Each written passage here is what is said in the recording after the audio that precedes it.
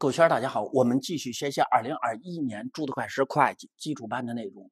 那么从这一讲开始，我们讲第二部分，在某一时点履行的履约义务，它是什么意思？一锤子买卖，它是什么意思？不用计算履约进度，啥时我把东西交给您客户，您客户取得了相关商品控制权，我啥时一次性确认收入？某一时段履行的履约义务是分期确认收入，但是某一时点履行的履约义务是一次性确认收入，别错了。那么现在就有一个问题：什么时候客户取得相关商品控制权？这个时点貌似就是我确认收入的时点。所以我现在就是要判断哪个点客户取得了相关商品控制权，我们应该考虑六个迹象。这儿可以考我们所说的客观题，比如说多选题，用背吗？不用，你背它干什么？简单的看一下就行了。比如说第一个，结就该商品享有限时收款的什么权利？我有收款的权利，站在您客户的角度。您就该商品负有限时付款的什么义务？第二，我企业已经将商品的法定所有权转移给客户。换句话说，站在您的角度，您拥有该商品的法定什么所有权？这些不用背，知道就行。再比如说第三个，企业已经将该商品实物转移给客户，也就是客户已经实物占有该商品。那我问一下，我把东西给了您，您已经占有了这个实物，是不是一定表示我认为你取得了商品控制权？未必。比如说有一种特殊情况，如果是我的笔，我想把它卖了，但我实在太懒了，我就不想自己去卖，我把笔给了您。我让您替我去卖出去，在您没有卖给独立第三方之前，这个笔是不是您实物占有？是，但是算您的笔吗？不算，仍然是我的，就这意思。第四，企业已将该商品所有权的主要风险报酬转移给客户。我们原来讲究的就是风险和报酬，现在在我企业的眼里，您是客户，您是我的上帝，您取得了控制权。我才能确认收入，而不是我转移了所有权上的风险和报酬，我就确认收入，是这个意思。第五，客户已接受该商品。第六，其他表明客户已取得商品控制权的迹象。这六个因素不用背，它可以考选择题。就是我之所以考虑这六个因素，或者这六个迹象，或者这六个条件，我就是要判断出你是在哪个时点。客户取得的商品控制权，我就在哪个时点确认收入，是这个意思。我们看二零一八年的一个多选题，对于在某一时点履行的履约义务，且应当在客户取得商品控制权时确认收入。在判断客户是否取得商品控制权时，且应当考虑的迹象。这种不就是白给分的题吗？也不用背。第一，客户已接受该商品，考虑；客户已拥有该商品的法定所有权，考虑；客户已取得该商品所有权上的主要风险报酬，考虑。第四，客户就该商品负有限时付款义务，考虑。没了，就是 A、B、C、D 四个选项全选。六句话，他抽出四句话考你，那不是非常容易形成多选题吗？那么第二个叫售后代管商品安排，这是啥意思？先不着急看教材上的理论，我先给你解释一下。比如说，你从我这儿买了一万根笔，我可能已经收了您钱了，但是您跟我说，老师，我求您了，我现在仓库没地方，我这一万根笔能不能在您的仓库暂时您替我保存一下？当我回答能的时候，这就形成了我们所说的售后代管安排商品。那在这种情况下，我会问你俩问题：第一，是所有我卖给您的东西您都没拿走，在我的仓库都算售后代管商品安排吗？未必，有的是真的售后代管商品安排，有的是假的售后代管商品安排。有人说咋还会有假的呢？我后边会告诉你要同时满足几个条件。第二，如果我真的是售后代管商品安排，那我啥时确认收入呢？我们按照基本的收入确认原则，是我履行了履约义务，你客户取得了商品控制权时，我就可以确认收入了。可是现在尴尬了，明明这个东西我已经卖给您了。明明我钱都收了，或者我有收款的权利了，但是您因为您的过失，您的仓库没地儿放，这个东西仍然在我的仓库里边保管，算不算您取得了商品的控制权？有人说不算，不是，在这种情况，如果是真的售后代管商品安排，哪怕这个东西还在我的仓库，我就可以确认收入了。但如果您不是真的售后代管商品安排，东西在我的仓库，我不能确认收入。啥是确认？啥时我把东西给了您，您取得了商品控制权，我才能确认收入。所以，这个售后代管商品安排，它唯一要解决的问题是，肯定要确认收入，只不过要解决的问题是何时确认收入，就这么个意思。先给你笼统的给你个概念，我们往下看，就是将来站在我卖方，也就是企业的角度，跟你买方客户签订的合同，我已经就销售的商品向客户收钱了，或取得了收款的权利，什么应收账款呀、合同资产等等。但是，直到在未来的某一个时刻，我才能把商品交付给客户。在这个未来时刻来临之前，这个东西仍然在我的仓库，仍然是我企业继续持有该商品的实物安排。那这种很可能就是售后代管商品安排。但是这个售后代管商品安排有真的有假的，不论哪一种情况，通常都是您。因为您缺乏足够的仓储空间，因为您的生产进度延迟，您不需要这东西，所以你暂时存放在我的仓库。那我何时确认收入呢？我们接下来看判断原则。首先看看你是不是真的售后代管商品安排。假如说在售后代管商品安排的情况下。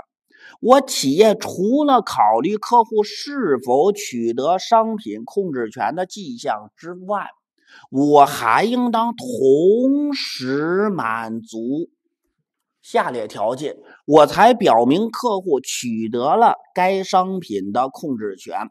也就是说，满足这些条件，说明他是真的售后代管商品安排，哪怕这个东西还在我仓库。我是企业，还在我仓库，我有可能认为你客户已经取得了商品的控制权，我就可以确认收入了。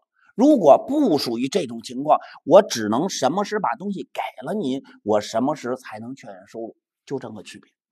首先看看必须满足哪几个条件：第一，该安排必须具有商业实质，没有商业实质，我根本不确认收入，何谈售后代管商品安排呀？第二，属于客户的商品必须能够单独识别。在我的仓库里边，可能有琳琅满目的商品，但是我一眼就能告诉你，就这个东西属于您，我单独给您码放。第三，该商品可以随时应客户的要求交付给什么客户，就是你要，我不是单独给你码放这东西，你要随时你可以拿走。第四，企业不能、不能、不能，我说了三遍，不能自行使用该商品或将该商品提供给其他客户，我自己不能随便用，然后我也不能把这东西卖给其他客户。总之，这个东西就是您的，只不过您在我的仓库占了一块地儿。满足这四个条件，哪怕这东西还在我的仓库，我也认为。你已经取得了商品的控制权了，我就可以确认收入了。如果不能满足这四个条件，对不起，东西在我的仓库一天，我可能也不能确认收入。啥时给了您，您取得了商品控制权，我才能确认收入。所以一定要同时满足这四个条件。第一个条件必须具有商业实质，很好满足。尤其是大家记住，第二个必须能够单独识别，通常是只要单独码放就满足这个条件。第三，您要要我随时可以给您。第四个，我不能用，我也不可能让其他客户用。同时满足这四个条件，我就可以确认收入。在这有个判断原则，就是通常是越通用的。可以和其他商品互相替换的商品，可能越难满足上述条件。比如说，我就是生产这个书写笔的，我仓库里边有十万根书写笔，一模一样，而其中一百根是您的。只要您要，我随时可以给您拿出一百根，但是我这一百根没有单独码放。在这种情况下，它没有满足第二条要求，它也不属于售后代管商品安排。听明白了吗？要不属于售后代管商品安排，在我的仓库一天，我不能确认收入。啥时把笔给您了，我啥时才能确认收入？这是判断原则。看完这个内容，我们看例十七杠二十三。这是真真正正的售后代管商品安排。只要我满足了收入确认的其他条件，哪怕这个东西还在我仓库，我也可以确认收入，是这个意思。二零某八年一月一日，甲公司与乙公司签订合同，向其销售一台设备和专用零部件。该设备和零部件的制造期为两年。甲公司在完成设备和零部件的生产之后，能够证明其符合合同约定的规格。假定企业向客户转让设备和零部件为两个单项履约义务，并且都属于在某一时点履行的履约义务，一定是排除法。第一，它不属于我边履约你边消耗的经济资源；第二，客户您不能控制履约过程中的在建商品；第三。要不没有满足商品具有不可替代用途，要不没有满足有权收取已发生成本加合理利润，反正这仨都排除了，那就是某一时点，某一时点履行的履约义务咋着？一锤子买卖咋着？不计算履约进度，啥时东西给您，我啥时一次性确认收入。往下看，二零某九年十二月三十一日，这个日期为啥涂黄了？接着往下看。乙公司支付了该设备和零部件的合同价款，并对其进行了验收。乙公司运走了设备，但是考虑到其自身的仓储能力有限，来了，可能是售后代管商品安排，并且其工厂紧邻甲公司仓库，因此要求将零部件存放于甲公司仓库。慢。你存放在我甲公司仓库，其实你要想到另外一个潜台词，是我甲公司在给您提供什么仓储服务？这个仓储服务很可能构成单项履约义务。往下看，并且要求甲公司按其指令随时发货。来来来。按其指令随时发货，是不是我已经满足了第三个条件？对不对？对。往下看，乙公司已拥有零部件的法定所有权，并且这些零部件可明确识别为属于乙公司的部件。看这儿，可以单独的识别，说明我满足了第二个条件。甲公司在其仓库内。单独区域内存放这些零部件，并应乙公司要求可以随时发货。来，在这儿可以随时发货，是不是？第三条，它进一步说明了这件事呀。甲公司不能使用这些零部件，也不能将其提供给其他客户，是不是满足了第四个条件？对。那么，除了这个二三四。第一个，因为你前边明确的告诉你这个零部件是不是按照你的要求设计生产的，对，它具有商业实质，那么等于四个条件全满足了，它属于不属于售后代管商品安排？属于。那既然属于售后代管商品安排，在二零某九年十二月三十一日这一天。这个零部件是不是在我的仓库？是，但是我可以确认收入了，就是这个意思。只不过我在这儿善意的提醒一下，除了销售设备和零部件之外，我还问你你公司提供了仓储的保管服务。比如说，我收取你的价款是一百万，那可能设备算成一项履约义务。然后零部件算成另外一项履约义务，还有一项履约义务，我总是想写运输是仓储服务，是另外一项履约义务。你要把交易价格给它分摊到上边去才可以，因为题目前边明确的告诉你是设备和零部件两个单项履约义务，加上你提供的仓储服务，其实是三个履约义务。这道题的重点是什么？重点在说什么？二零某九年十二月三十一日，我已经同时满足了这四个条件，哪怕我仍然替你保存这个东西，这个东西还在我仓库里边，我也可以确认零部件的收入了。而设备你已经拿走了，我当然也可以确认收入，就这个意思。那么再看例十七杠二十四。这是假的售后代管商品安排，表面像售后代管商品安排，但是只要有四个条件的任何一个条件没满足，东西在你仓库一天，你不能确认收入。只有你把东西给了客户，客户取得商品控制权，你才能确认收入。我们看一下，A 公司生产并销售笔记本电脑。二零某七年，A 公司与零售商 B 公司签订销售合同。向其销售一万台电脑。由于 B 公司的仓储能力有限，无法在二零某七年年底之前接收该批电脑。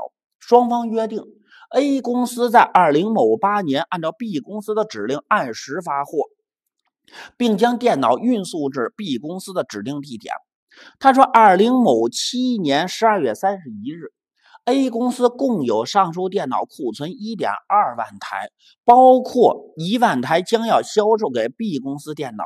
然而，这一万台电脑和其余的两千台电脑一起存放并统一管理，并且彼此之间可以相互替换。不用往下看了。什么叫不用往下看了？看这四个条件。因为你这儿告诉我，越是通用的，可以跟其他商品相互替换的，越难满足这四个条件。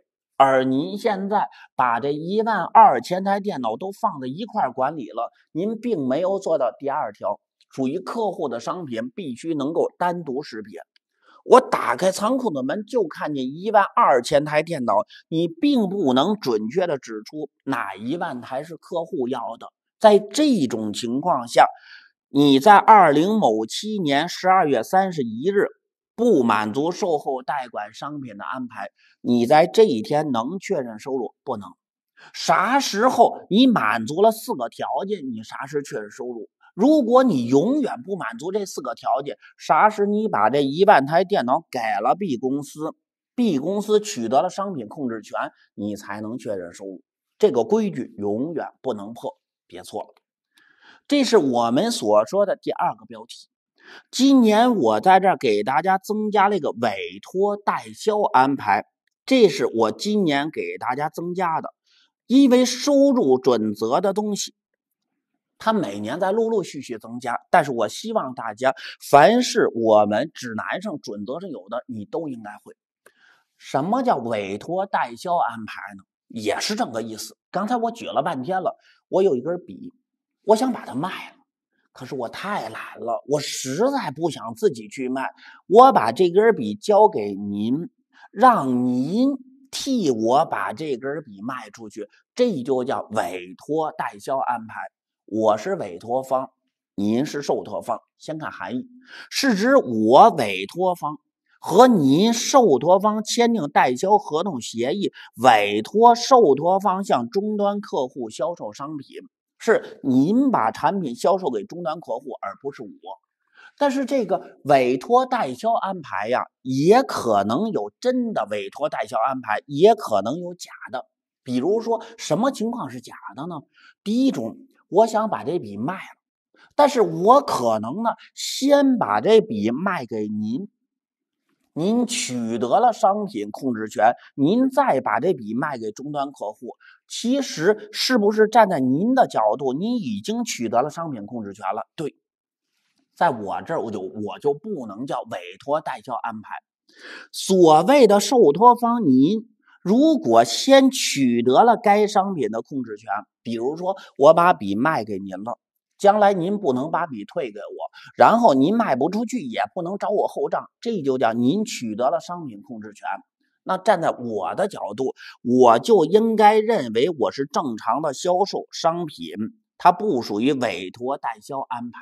也就是说，您取得了控制权，它不属于委托代销。真正的委托代销是什么？您作为受托方，并没有获得这些商品的控制权。商品属于谁？我委托方的，您只是替我跑腿的，您将来只是挣的跑腿费。在您把商品卖给终端客户之后，我会给您一些手续费，手续费是您的收入，而产品的收入是我委托方的，是这个意思。这就叫委托代销安排。那么将来怎么判断它是不是委托代销安排呢？包括但不限于下列迹象。比如说，第一个，在特定事件发生之前，企业拥有对商品的控制权。比如说，举个例子，在您把商品卖给终端客户之前，这个特定事件发生之前，我始终拥有商品的控制权。这个可能就是委托代销安排。第二，我可以要求将委托代销的商品退回，或者将其销售给其他方，比如说其他的经销商。就是我会跟你说，把这东西拿回来，我不让你替我代销，我让别人替我代销，那不还是在证明东西是我的吗？反之，还是说明你没有取得商品的控制权。第三，尽管受托方可能被要求向企业支付一定金额的押金，但其实并没有承担对这些商品无条件付款的义务。可能对于您来说。我怕你糟蹋我的东西，我会跟您要一些押金，但这仅仅是押金。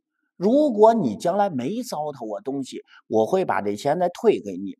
但是退的这个钱，并不是我们因为商品而发生的。我收你的这个钱，也不是因为商品而发生的。将来我从谁那收钱？你卖给终端客户，其实是终端客户最终把这钱给了我。这些用背吗？不用。其实这些都在告诉你一个什么道理？就是受托方未取得受托方未取得商品的控制权，就这个意思。那么在这儿，我今年给大家补充了一个例题，我们看一下。他说：甲公司委托丙公司，给个词儿。甲公司是委托方，丙公司呢？丙公司受托方，丙公司一定是未取得商品的控制权，才能叫委托代销安排。销售 W 商品二百件，W 商品已经发出，慢点，W 商品已经发出，这个 W 商品在我甲公司这儿应该叫库存商品，发出去了，它至少应该改个名吧。然后每件成本是六十二百六十乘完了不得一万二吗？所以在这儿我就会带库存商品一万二，我会改个名，因为我还没有满足收入确认条件。啥时满足？啥时您丙公司把东西卖出去了，我啥时确认收入？所以在这儿我改名叫发出商品二百件，每件六十是一万二，这是第一步。然后往下，我再问你一下：合同约定丙公司应按每件一百元对外销售，甲公司按照不含增值税的销售价格的百分之十向丙公司支付什么手续费？停！我把这二百件东西给了您，站在丙公司的角度来说，这个东西是您的吗？不是。但是您实实在在得到了一部分资产，也就是二百件 W 商品。站在丙公司角度，您先要给我反映为资产增加。有人说：“老师，你糊涂了，你不说这东西不算丙公司的吗？怎么又反映资产的增加？”别着急，我规定每件多少卖一百块钱，一共二百件。是不是这是两万？你增加了一项资产，但是这个资产算我甲公司的，不算你丙公司的。你拿了你不应该拿的东西，你是不是形成一个负债呀？对，这儿就增加了一个负债类科目，代受托代销商品款，然后两万。你看，我增加了一项资产，增加一项负债。您还记得不记得在存货第二章我们讲的时候，将来算丙公司存货的时候是一借一贷，正好相互抵消，并没有反映在受托方的存货里边。对，这才是正确答案。接着往下看，丙公司对外实际销售一百件，慢点一共我给您二百件拿给您了，您只卖出去一百件，那不就等于我只确认一半的收入，我只结转一半的成本吗？那好，成本六十，年一百元卖的，那我这边带主营业务收入就应该是一百件。每件我规定一百元是一万，贷方有销项税额一千三，这个钱我没收到，应收账款是一三零零，对吧？我只确认一百件的什么收入，同时我确认收入了，我是不是要结转一百件的成本呀？还能带库存商品吗？不能了。我这二百件的库存商品已经都改名叫发出商品，我只能带发出商品是一百件，每件成本六十是六千，借主营业务成本是六千，将来这幺幺三零零你都能收回了吗？美的你，你不是要给丙公司跑腿费吗？占销售价款的百分之十，一万的百分之十是什么？一千。这是我甲公司为了卖东西而花出去的钱，站在我甲公司的角度，它是我的销售费用，一万的百分之十一千，然后借方会有一个进项税额，比如说一千的百分之六得六十，贷方。那本来我应该收你一万一千三，但是我应该付给你一部分钱，是不是等于我收你的钱就少了一千零六十啊？对，最后我只是把我该收的差额一万一千三减去一千零六十的差额，也就是一零二四零收回来，借银行存款贷应收账款一零二四零没了，这是甲公司了。完了吗？您丙公司的业务还啥都没做了。站在丙公司角度来说，第一步收到东西我做完了，我第二步丙公司往出卖东西的时候，他手里的东西是不是少了？是，他能确认收入？不能。你不可能甲确认收入，丙也确认收入，这个东西是假的。甲确认收入，当丙往出卖的是借银行存款一万一千三，我只能给你证明我手里的东西少了，我直接代受托代销商品一百件，每件规定的价格一百，销掉一万，代销项税额一千三。慢点。我丙替你甲卖东西，我这儿形成一个销项税额一千三，对于我丙来说不是无妄之灾吗？不是我的东西，我凭啥要交增值税呀？那这时候我们税法采取的一个办法是什么呢？就是将来你丙往出卖东西时，要给终端客户开增值税专用发票，然后增值税税额一千三等等。其实，在我相同的情况下，甲会开一个等额的增值税专用发票给谁呀？给丙。你看，你这边卖给终端客户形成销项税额，将来我甲我再给你开一个发票，你不就有一个进项税额吗？所以我收到增值税专用发票的时候，这就和进项税额一千三，你看这回才合理。我替你卖东西，销项一千三，进项一千三。销项是我开给终端客户的，进项是你甲开给我的。我不会因为卖产品而产生增值税。这儿有个进项税额，那借方是不是还要反映出受托代销商品款负债减少？我把你存我这东西卖出去了，我不该拿的东西不就少了吗？最后贷方是应付账款一万一千三，将来我给你钱的时候是给一万一千三吗？不是，将来我给你钱的时候是借应付账款一万一千三，我只给你一零二四零，为啥呀？因为我应该收你的什么？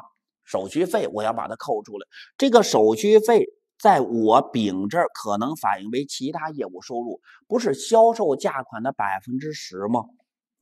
就是一万的百分之十，一千。最后我这儿有一个销项税额一千的百分之六，那是六十。我这边产生销项，你记得不记得？当时你这边产生进项，这六十是我。丙替你跑腿本来产生的收入，也就是手续费，我该交的销项税额，这就有我正常的负担了就可以了。到这儿为止，这一道题才算结束。甲，大家非常简单，我只强调一句话：甲什么是确认收入？什么时候丙把东西卖给了终端客户或终端消费者？丙给了你一个代销清单的时候，你才能确认收入。而我们对于丙来说，你对外卖，你销掉的是受托代销商品。如果你收到甲给你开的增值税专用发票，你销掉的是受托代销商品款。最后你支付的是直接把差额支付了，把属于你的钱扣下来，作为其他业务收入，产生你的销项税额。今年账。补齐了，我就不欠大家任何交代。这块内容我就全给你补齐了。这块内容我就给大家说到这儿。那下边我们看标题三，关于合同成本。这个合同成本呀，包括两部分，一部分叫合同履约成本。那么顾名思义，就是我作为企业，我为了履行合同而发生的。但又不属于其他章节规范范畴，比如说它绝不属于存货呀、固定资产、无形资产这些范畴，而且同时满足下列条件的，应当作为合同履约成本来确认为一项资产。这个合同履约成本确认为一项资产，这资产叫什么名？很简单，这资产的名字就叫合同履约成本，它就是一个会计科目，你将来就会见到。有人说我没明白，我给你举个例子，比如说我跟冬奥签了讲课的合同，我为了更好的给自己营造一种气势，那我可能雇佣你们来当我的啦啦队。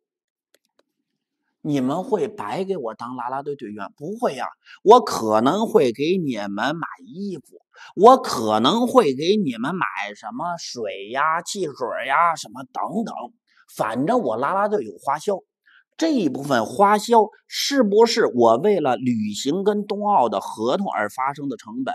对，但是这一部分成本算不算什么存货、固定资产、无形资产？不算，而且它要同时满足下列条件，才能作为合同履约成本。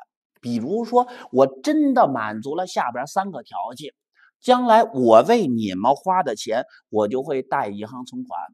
借合同履约成本，它就是一项资产。好，往下看，第一个，该成本与一份当前和预期取得的合同直接相关。因为我跟冬奥签了合同，我才请你们来给我当啦啦队，这不就是跟合同直接相关吗？包括我们所说的直接人工、直接材料、制造费用或间接费用。然后明确由客户承担的成本，以及因该合同而发生的其他成本。我给您买啦啦队队服呀，什么买的摇旗呐喊那种铃呀、荧光棒呀，全都算。为什么明确由客户承担的成本算我的合同履约成本呢？我只说两句话：第一，合同履约成本最终会转到你的主营业务成本里边去。而明确由客户承担的成本，是不是羊毛出在羊身上？将来我跟客户谈合同价款时，我合同价款里边包含这部分。你合同价款里边要包含这部分，你花的这部分钱当然也可以算你的合同履约成本，最后形成你的主营业务成本。我这么说听懂了吧？这是第一部分。第二部分，该成本增加了企业未来用于履行或持续履行履约义务的资源。你看，你们给我摇旗呐喊，玩了命的。张老师讲的真好，张老师讲的特别好，所有人都认识我。地球人将来有一天都认识我，只听我的课，好唯我独尊，有点儿夸张了啊。但是，是不是我的成本增加了我履约义务的资源？对。第三，该成本预期能够收回，那不是小菜一碟吗？张飞吃豆芽，小菜一碟。我可能为你花的拉拉队的钱，连衣服什么带什么运输费呀等等，什么杂费，可能才一万块钱。但我讲课能挣一百吧？这成本算不算能收回来？能。那么同时满足这三个条件，我们就把它确定为合同。履约成本一定要记住，是为履行合同发生的，而且不属于其他章节的范畴，跟合同有关，增加了你履约的能力，成本预计可能收回，我们就把它确认为一项资产，叫合同履约成本。其实大家想一下，资产不是有一个条件是什么？成本能够可靠计量，经济利益很可能流入企业。它为什么有第三个条件？不就等于不言而喻了？就是这个意思。那么在这儿，且应当在下列支出发生时将其记入当期损益。换句话说，它不满足资产的确认条件。比如说，第一个管理费用，管理费用它只是一个期间费用，你当然不能把它资本化确认为资产了，除非这些费用明确由客户承担。要明确由客户承担，他算我的成本，因为将来羊毛出的羊身上，我跟客户谈价款时，我收入里边就含着这部分钱。第二，非正常消耗的料工费，因为这一部分支出是为履行合同发生的，我承认，但没有反映在合同价款。就跟我前面举的那个例子，我讲了五个小时课，前四个小时都作废了，都要给钱吗？不给。只给我最后一个小时钱，这种非正常消耗的只能计入当期损益。第三，与履约义务中已履行，包括已全部履行或者部分履行部分相关的支出，也就是说，这一部分支出是跟企业过去的履约活动相关，是不是在你们财务成本管理里边讲一个沉没成本呀？这一部分跟我未来的合同没关系，我这儿讲的是跟当前或预期取得的合同相关，而您是跟过去的合同相关，不能确认为现在的资产。第四，无法在尚未履行的与已履行的履约义务之间区分相关支出。没办法区分，我宁可什么费用化，因为不得高估资产或收益，这不也符合我们所说的谨慎性原则吗？其实每次念到这儿，你没发现我舌头都有点发瓢吗？就跟让我想到是什么红鲤鱼、绿鲤鱼和驴。如果你说快了，不就容易出问题吗？但是明白这个意思就行了，这些。都不能确认为资产，因为不符合资产的确认条件，只能记当期损益。我们看例十七杠二十五，甲公司与乙公司签订合同，为其信息中心提供管理服务，合同期限五年。在向乙公司提供服务之前，甲公司设计并搭建了一个信息技术平台供其内部使用。该信息技术平台由相关的硬件来了，可能是固定资产。软件可能是无形资产，是一定分别是固定资产和无形资产？不是，你忘了一句话吗？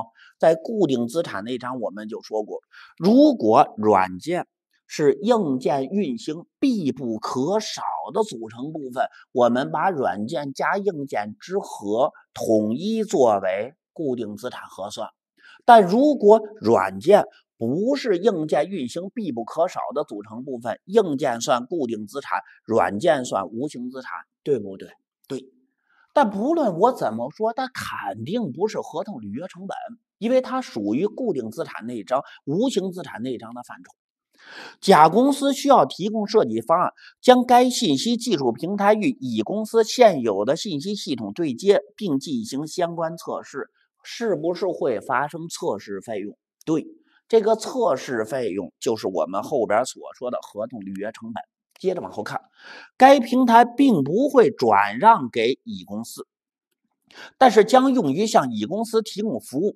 甲公司为该平台的设计、购买软件、硬件以及信息中心的测试发生了成本。除此之外，甲公司专门指派两名员工负责向乙公司提供服务。那么，咱就分析一下。这些成本哪些属于合同履约成本，哪些属于其他章节核算的成本？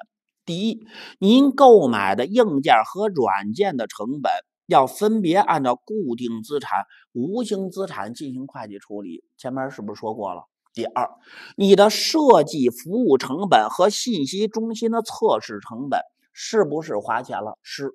首先可以肯定，它不属于其他章节规范的范围，或者说，首先第一，它满足了跟我当前合同直接相关第一个标准；第二，它增加了我甲公司未来用于履行履约义务，也就是提供管理服务的资源。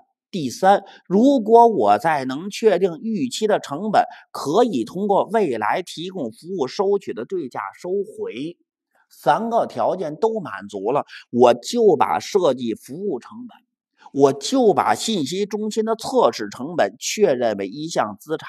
咋确认？就是你花钱的时候带银行存款，借方就是我们所说的合同履约。成本，这就叫确认为一项资产。另外，不还有一件事儿吗？甲公司向两名负责该项目的员工支付了什么工资费用？首先，我可以肯定，它是跟我向乙公司提供服务有关。换个词儿，它向我们当期和预期将要服务的一份合同有关。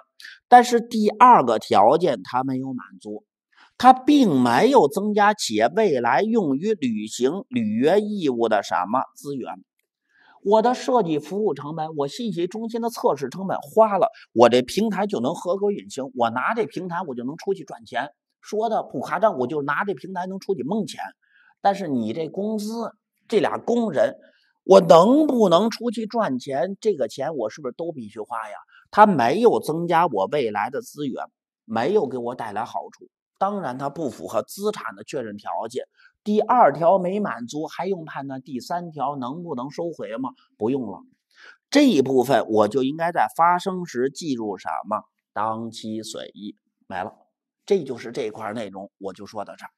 这是历十七杠二十五，哪些属于其他章节的成本，哪些属于这一章的成本，要知道。历十七杠二十六是二零二一年新增的章节。他说，甲公司经营一家酒店，该酒店是甲公司的自有资产。甲公司在进行会计核算时，除了发生餐饮商品成本这些之外，还需要计提与酒店经营相关的固定资产的折旧，比如说酒店呀、客房呀、客房内的设备、家具等折旧。无形资产的摊销，比如说酒店土地使用权等费用，那这些费用、这些摊销，我到底该记住正常的损益呢，我还是该资本化先给他记入合同履约成本呢？我唯一的判断标尺就是，您这些发生的费用也好、折旧也好、摊销好，是不是跟客房服务或者跟客户向他提供服务相关？如果相关，那好，我可以非常肯定，跟客房服务相关的资产折旧和摊销，比如说客房里边设备的折旧，或者客房占用的土地的无形资产摊销，属于甲公司为履行与客户的合同而发生的服务成本。我要看你是不是满足资本化条件，咋就算满足了？你又糊涂了。第一个是跟当前和预期将要行使的合同履行的合同相关；第二，是不是增加了未来什么未来履行履约义务的资源；第三，成本很可能收回。如果满足这三个条件，我们就把它作为合同履约成本来进行会计处理。在这时候，你可能要做的分录是借合同履约成本。什么待累计折旧呀？什么累计摊销呀？就是这个意思。将来你会知道这一部分合同履约成本转哪儿去了？转主营业务成本里边去了。因为我客房服务赚的钱叫主营业务收入，客房服务提供的折旧摊销，先通过合同履约成本过渡一下，最后转了主营业务成本。所以最后摊销时计入营业成本，好理解吧？好理解。但是还有一部分是跟客房服务没关系，比如说我跟客房服务不直接相关，我是财务部门的折旧，我是销售部门的折旧，那就正常的记入当期损益。也就是说，将来你的折旧和摊销、借管理费用呀，什么销售费用、贷方是什么累计折旧、累计摊销这部分直接走损益就可以了。所以，并不是所有的我们所说的折旧摊销都走损益，跟客房服务相关的先走合同履约成本，因为客房服务收的钱算主营业务收入。我想我就说清楚了，这是今年新增的一个例题。那么（括号）合同取得成本。刚才是合同履约成本，就是为了履行合同而发生的钱。现在是为了取得合同而发生的增量成本。这个增量成本，貌似我们在金融工具那章就讲过，就是取得合同一定会发生的成本。反之，不取得合同一定不会发生的成本，是不是就叫增量成本？对。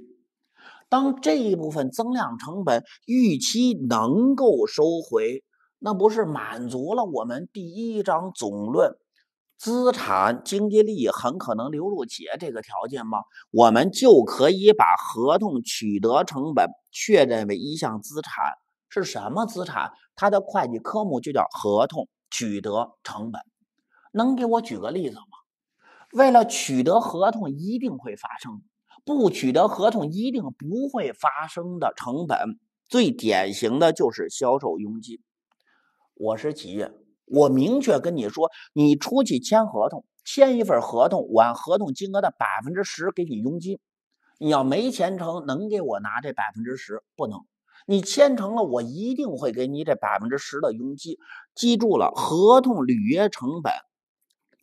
我们最典型的就是销售什么佣金，把这给我背下来。你实在不理解就背下来。它是一定取得合同必然发生，不取得合同一定不会发生的，我们叫合同取得成本。那么将来这个合同取得成本呀，它是要摊销的。为了简化处理，如果你的摊销期限不超过一年。我允许你在发生时计入当期损益，啥意思？比如说你签的这一份合同，最后可能只有四个月的期限，没超过一年。那么将来你是贷银行存款借合同取得成本，那么将来我允许你马上贷合同取得成本，借方比如说销售费用，甚至我直接就是借销售费用贷银行存款就可以了。这是可以直接计入当期损益，你可以采用这种简化处理办法，但是你对所有类似合同一致怎么着采用？那么第三个，有一部分费用你取得合同它会发生，你没有取得合同它也会发生，这一部分增量成本之外的其他成本。能不能计入合同取得成本？不能。比如说，你无论是否取得合同，均会发生的差旅费，什么投标费、为准备投标资料发生的费用，这一部分不满足合同取得成本的定义，你在发生时，我直接给你记住当期损益。除非这些支出明确由客户承担，又来了，他要明确由客户承担，虽然是我花的钱，羊毛出在羊身上，将来这部分钱反映的合同价款确认为收入，那我花的这部分钱才可能计入成本，是这意思吧？除这个之外。它不是我取得合同一定发生，不取得合同一定不会发生的，我直接走当期损益，它不能确认为资产。在这我提示大家一句话：您这合同取得成本，也就是销售佣金，可以计入我们所说的资产。但如果我是现有合同续约，比如说我们公司有规定。你新开发一个客户，我按百分之十给你提销售佣金。如果这客户还能续约，我续约可能按百分之六给你提销售佣金。我不关心比例，这百分之六算不算合同取得成本？算。还有合同发生变更，比如说我原来跟签客户签了一个一千万的合同，在还没有执行完的时候，客户。把合同金额改了，改成三千万了，你可能要额外给我两千万对应比例的销售佣金。这一部分额外的佣金，我们也认为它是取得合同发生的增量成本，也属于合同取得成本。初次的叫合同取得成本，续约或发生变更，额外的佣金也视为合同取得成本。说清楚了吗？好。那么在这儿，我们看例十七杠二十七，甲公司是一家咨询公司，其通过竞标赢得一个新客户，为取得该客户的合同，共发生下列支出四部分。记住了，必须发生的，或者说取得合同必须发生，不取得合同一定不会发生的，我们才确认为合同取得成本。最典型的是谁？销售佣金，剩下的都记当期损益。第一个，聘请外部律师进行尽职调查的支出一万五，我可能没有签成合同，这个尽职调查我是不是也做了？对，它不属于增量成本，它在发生时记当期损益。第二，因投标发生的差旅费一万，是不是我取不取得合同，它都已经发生？对，它不属于增量成本，也是计当期损益。第三，销售人员的佣金为五千元。这五千元是我取得合同才会给销售人员的提成，我要没取得合同根本不会给。它是我们所说的增量成本，而且它告诉你，甲公司预计这些支出未来能够收回，满足资产的确认条件，我就把它确认为合同取得成本，确认为一项资产。而第四个，甲公司根据其年度销售目标、整体盈利情况以及个人业绩等，向销售部门经理支付年度奖金一万元。这貌似跟合同都没啥关系，我们就把它记住当期损益。所以这里边只有销售佣金可以作为合同取得成本。有人说还有没有其他的？有，但是准则没有特别列示，您就记死了这一个就可以了。这是我给大家举的这道例题。那么再看例十七杠二十八，他说甲公司相关政策规定，销售部门的员工每取得一份新合同，可以获得提成一百，这叫合同取得成本，没问题吧？现有合同每续约一次，员工可获得提成六十，这也叫合同取得成本吧？对，合同改变的额外佣金也叫合同取得成本。你只要满足预期上述提成均能够收回，那不就是经济利益很可能流入企业吗？我就可以把你确认为什么一项资产？这项资产的名字就叫合同取得成本。它既是我们所说的名字，也是会计科目。好，后边的内容我就不再给大家单说了。那么，括号三，合同履约成本，记住，它是为履行合同而必须发生的拉拉队的成本。合同取得成本，记住是销售佣金。这俩你不都号称资产吗？将来资产我们是要进行什么摊销的？然后将来资产有可能会发生什么减值？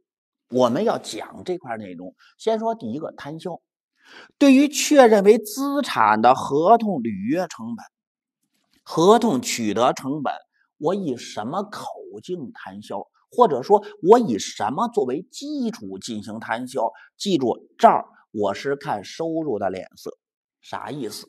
就是如果我与该资产相关的商品收入，我确认方法确定了，我就按那个方法进行摊销，计入当期损益。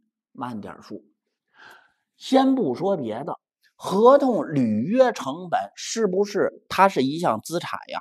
合同取得成本是不是一项资产？形成时资产都在借方吧？对，将来摊销时都在贷方，那就摊销时贷合同履约成本，贷合同取得成本没问题，但借方科目不同。合同履约成本是跟履行的当前或预期取得的一份合同有关，合同我会产生收入，那对应的合同履约成本我会产生主营业务成本。同理，合同取得成本是我为了卖东西给你的销售佣金，它是跟销售有关，所以它摊销计销售费用。有人说会计科目我清楚，你还是没告诉我怎么摊销呀？你糊涂了，我都不用再说。比如说，我要问你收入确认的方法，不就有两种吗？一种叫某一时段履行的履约义务，能给我再背一遍吗？站在企业的角度，我履行履约义务，然后我提供的经济利益，您。在我边履约，您就边消耗了，这属于断履行。第二，您客户能够控制履约过程中的在建商品，这是断履行。第三，就是商品具有不可替代性，而且我企业能够在整个合同期限内有权就累计已完成的履约部分收取成本加合理利润的款项，这是断履行。除了这三种断履行，剩下的不就是我们所说的点履行吗？那您要告诉我，断履行怎么确认收入？很简单呀，断履行是要算履约什么进度？比如说，你履约进度算出来，假如说第一年的履约进度是百分之二十。那好说，你是不是就用总的交易价格乘以百分之二十确认了收入？对，那我这儿的合同履约成本、合同取得成本，我也摊销百分之二十。我这么说你能听懂吗？如果到了第二年，我累计的履约进度，比如说百分之八十，那我摊多少？摊百分之八十？不是。我第二年是累计的履约进度百分之八十，不就等于百分之六十吗？第二年本年，那我就再摊一个百分之六十的合同履约成本，再摊一个百分之六十的合同取得成本，以此类推。如果你是某一时点履行的履约义务，那不就是一锤的买卖吗？那就是一次性确认收入，就是你啥时确认收入，你马上一次性把合同履约成本全部给我摊到主营业务成本，把合同取得成本全部给我摊到销售费用里边就可以。所以这俩成本的摊销是要看收入确认的脸色，别错了，我就说到这儿。那么第二个，在这我想说几句话。就是在你确定与合同履约成本、合同取得成本有关的资产的摊销期限和方式时，如果资产与一份预期将要取得的合同怎么着相关，也就是说，将要取得的合同是你在以后期间才会确认收入，对不对？对，那在这种情况下，你合同取得成本、合同履约成本的摊销，你不是要跟收入的口径一致吗？你就应当考虑该预期将要取得合同的什么影响？这就是跟新合同有关。你新合同确认收入时，摊销新合同的合同取得成本，摊销新合同的合同履约成本。那么再往下说，对于合同取得成本而言，如果合同续约，慢点，合同要续约，我把这理解为原合同。比如说，他有一百块钱的合同取得成本。而后来合同要续约的时，可能有六十块钱的额外的佣金。那么将来这一部分佣金，我应该是怎么摊销呢？企业不是仍然要支付与取得原合同相当的佣金吗？他现在在说这六十，这表明取得原合同时支付的佣金与预期将要取得的合同无关。该佣金只在原合同期限内进行摊销，这不是多一道手续吗？就是这一百在原合同期限摊销，这六十在续约的合同期限摊销，分别摊销，就是这么一句话，跟谁有关就摊在谁的期限内。那么第二个，企业应当根据预期向客户转让与上述资产相关商品的时间，对资产的摊销情况进行复核，并且更新。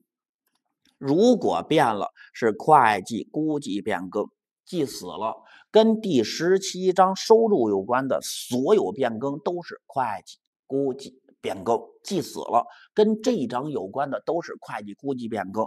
前边我还说过，跟固定资产、跟无形资产、跟收入这三章变更的都是会计估计变更，别错。后边我还会给你总结。那么第二个减值。合同取得成本、合同履约成本，它也是资产呀，是资产就有可能发生减值，我们可以计提它的减值准备。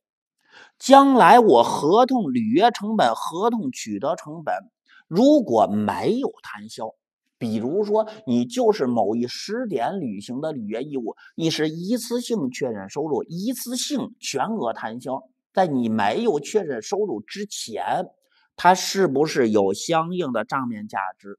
对，但如果你面对的收入是某一时段履行的履约义务，它可能分期陆陆续续按履约进度摊销了，那是不是摊销之后的金额是它的账面价值啊？对，那我就拿账面价值跟下边两项的差额去比。你可以把下边的两项差额理解为像存货的可变现净值呀。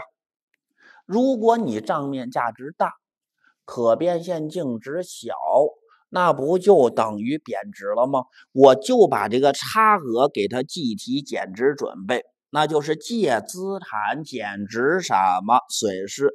贷方合同履约成本减值准备，合同取得成本减值准备，就这么做。现在有一个问题，我是跟哪两项的差额去比？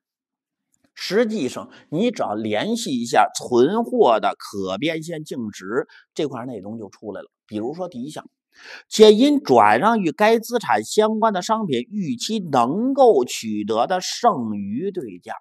也就是说，我不是转让商品了吗？我还能够取得的剩余对价是多少？你把它类似的看成存货的估计售价。第二，为转让该相关商品估计将要发生的成本，你把它理解为估计的相关税费。用估计的售价减估计相关税费，是不是就得到我们估计的可变现净值？就这个意思。也就是说，你还没有摊销的这一部分账面价值，是不是要不计主营业务成本，要不计销售费用？对呀，将来你还能收到的钱减去你的成本，就是你还能净赚多少钱？如果你将来要摊销的成本的账面价值比你净赚的钱大，这不就是发生了减值吗？将来我要计提减值，在这儿我给大家明确一句话。合同资产，这是我今年特意给大家补充的。说两句话：第一，合同资产是不是属于二十二号准则，也就是金融工具的确认和计量准则核算的范畴？属于。跟它类似的是一个收款权，叫应收账款。如果应收账款发生了减值，我们是这样做的：我们应该用预期性损失法，叫借信用减值损失。贷方用的是坏账准备。那可能有人会问了，这个合同资产是不是也属于金融资产？属于。那这个合同资产是不是也用的预期性损失法？是。那么这个合同资产减值准备是不是对应的也是信用减值损失？不是。为什么这个不是？其实今年证监会出了一个文，特意说了，你看，合同资产是一个收款权。应收账款也是一个收款权，但是他明确的说了，合同资产减值准备对应科目不再用信用减值损失，而用的是资产减值损失。对不起，这就是我让你单记的，这儿一定要给我单独的把它记上就可以了。这是计提减值，明明都是收款权，坏账准备就用信用减值损失。而我们合同资产减值准备就用资产减值损失，这俩还有一个相同之处，这俩减值都可以转回。那有人可能就问了：合同履约成本、合同取得成本减值准备可以转回？可以，没问题。所以减值的转回，以前期间减值的因素之后发生变化，使得你。一减二的差额高于资产账面价值的，那要把减值给它转回，就是写成反向。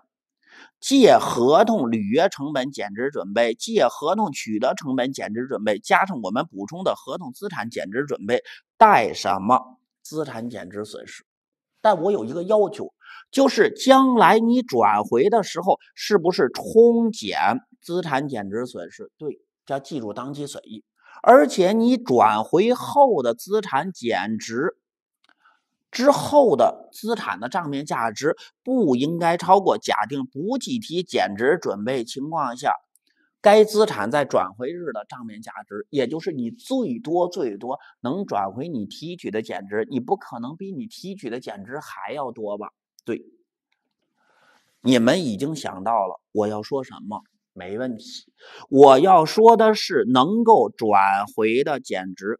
您老人家到现在为止，除了差我们第十九章的递延所得税资产，所有能转回的减值我已经全讲完了。我再跟你说一遍，除了我提到的这些减值，剩下的减值是不能转回的。别错了，剩下的减值是按第七章资产减值的规矩来处理。第一，我们能转回的是存货跌价准备。你计提的时是借资产减值损失贷存货跌价准备，转回可以写成反向。第二，能转回的就是我们最典型的坏账准备。借信用减值损失贷坏账准备可以反向转回，我们能转回的是债权投资，也就是我们所说的摊对应的减值准备。借资产减值损失贷债权投资减值准备可以转回反向，我们能转回的是宗债，记得不记得宗债的减值？它是通过其他综合什么收益，然后信用减值准备这个科目计提的时候，借信用减值损失贷其他综合收益信用减值准备。当然还有其他的，比如说贷款损失准备，比如说我为了贷款承诺贷方预计负债这些这些科目最大的特点。他用到的对应科目都是信用减值损失。您记死一句话：凡是对应科目用到信用减值损失的，我们不考虑极特殊情况。换句话说，考试的范围内，凡是对应科目是信用减值损失的，我们都是可以转回的。我们都是可以转回的，听懂了吗？剩下的还有什么？比如说合同资产减值准备。它明明用的是预期性损失法，但是它对应科目是资产减值损失。还有什么？还有我们所说的刚刚学完的合同取得成本、合同履约成本的减值准备，这些对应的也是资产减值损失。还有什么？你千万别忘了持有待售资产减值准备。持有待售，我简写啊。减值准备对应的也是资产减值什么损失？除了我提到的这仨用的是性减值损失，剩下我没有说到的都用的是资产减值损失。还有一个就是我们第十九章将会学到的递延所得税资产。有人说他用的是资产减值损失还是信用减值损失？都不是，就是他可以把它金额冲掉一块，就是发生减值，然后它可以恢复一块，就这意思。我现在除了第八点递延所得税资产这一块内容，我还没跟你说，剩下的内容我已经全讲完了。这就是我们整本教材能够转回的减值，您老人家必须把它背下来，因为这套题是高频考点，单选多选，经常在这考题，千万别错。那么我最后再说一句话。在你确定合同履约成本、合同取得成本减值损失时，记住了，我们当时之所以确认这两个资产科目，不就用的是排除法吗？不属于其他章节范畴的，我才属于这儿。那么减值，我也用的是排除法。我先把其他资产的减值损失，像固定资产、无形资产，给它确认好了，然后我再按本节的内容确定合同履约成本、合同取得成本的减值，就这个意思。其他的不再拓展去说。到这儿为止，就意味着标题三。关于合同成本的所有内容，我就给大家讲完了。那这一讲我就讲到这儿，大家辛苦了，谢谢大家，再见。